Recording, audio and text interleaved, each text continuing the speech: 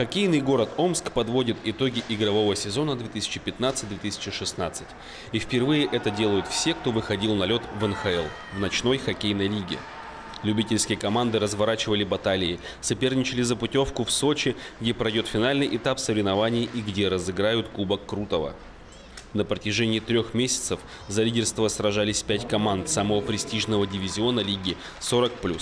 Более двух тысяч часов на льду, астрономические счета на табло и около 500 заброшенных шайб за сезон. Лучше остальных проявила себя команда группы предприятий «Титан». Уже в мае они отправятся в Сочи отстаивать честь Омска. Победа всегда дается сложно. Ребята заработали эту победу, выиграли, стали первыми. Поэтому как говорится, с Божьей помощью теперь в Сочи. Игры не уступают матчам с участием профессионалов. Тренировки круглый год, нагрузки серьезные, и при том, что игроки команд НХЛ старше 40 лет. Для Омска этот сезон первый, но интерес к соревнованиям большой. Количество команд-участниц растет. Много положительных эмоций их получили и ребята, и семьи, и семьи ребят, кто играет.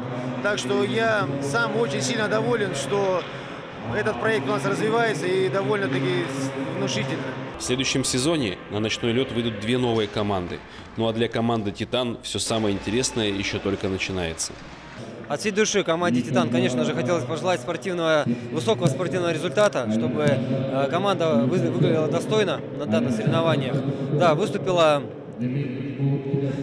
на призовые места, э, как минимум мы ждем, конечно, только с победой. И приехать вернуться без травм, с хорошим настроением. Чемпион региональной хоккейной лиги отправится в Сочи в ближайшее время. В мае 32 лучшие команды НХЛ разыграют Кубок Крутого.